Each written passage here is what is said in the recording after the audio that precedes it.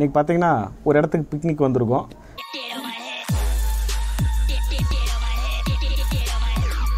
வழக்கமாக போடுற ஆம்லேட் தாங்க.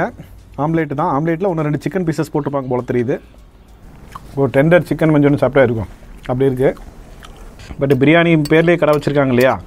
அதுக்கு அந்த அளவுக்கு ஜஸ்டிஃபை பண்ணுற மாதிரி இல்லை.